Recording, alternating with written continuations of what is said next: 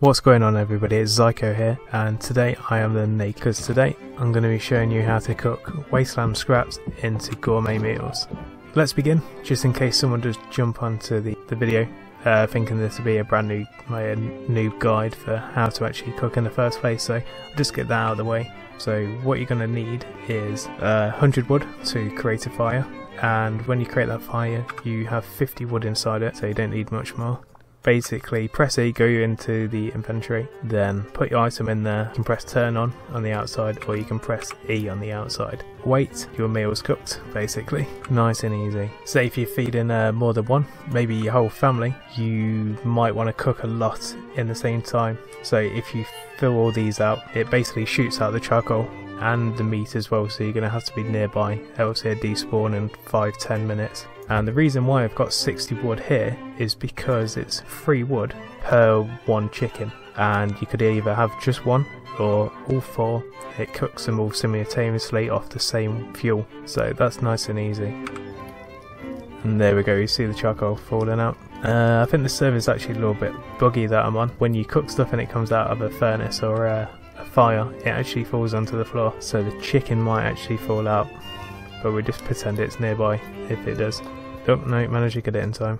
There we go. So as you can see, got four lots of chicken, and we just used free fuel then when it was at 57, giving us that 3 to 1 ratio. You might be thinking, well, I'm not going to want to be standing next to the fire all day, so what's the best way that I can keep cooking food on the go, not having to wait nearby and not really wasting everything. Say if you're on a place where it's limited for uh, animals or someone's already doing the barrel runs and the boxes all the time so you can't actually get anything. Well, we will be doing a little test. Two lots of free chickens and nine wood, given that 3 to 1 ratio.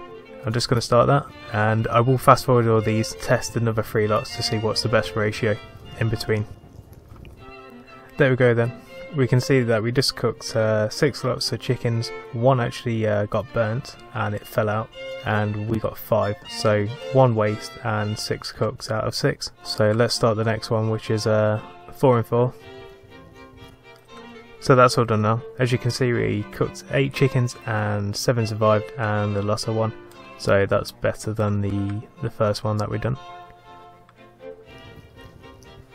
There we go, that one's all done. So we cooked 10 chickens, 8 survived and 2 burned.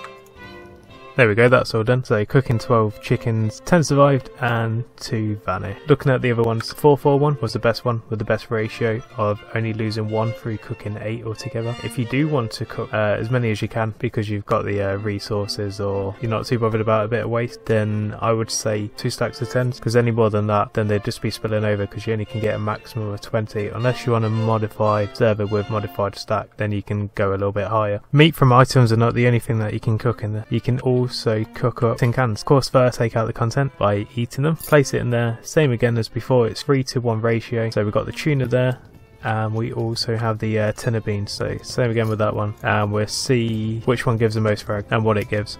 There we go that's just finished. So the tuna gives 10 metal frags and the baked beans give 15 metal frags. So just keep that in mind when you're starting off and you want to get your door and your code lock or any metal tools uh, they can be uh, really helpful sometimes. Being the naked chef, it's always a good idea to keep on top of nutrition and what you're serving to your customers. So, going through them, uh, the first item that gives health back instantly is mushrooms. Mushrooms give back free health, and it's the only item that does so. Next on the uh, nutritional list is hot.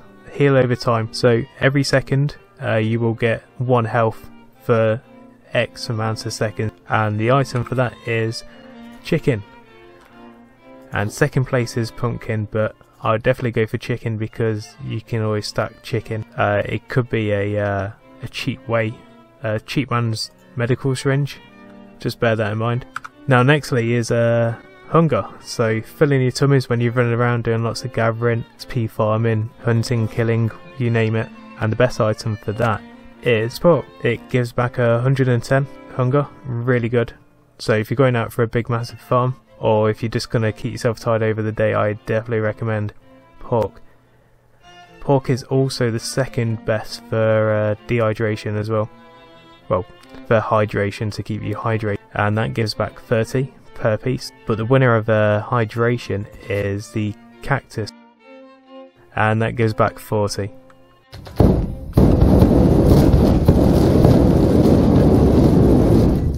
And that's it for me. This is Zyko, the Naked Chef. Try not to burn the place down. Have fun cooking.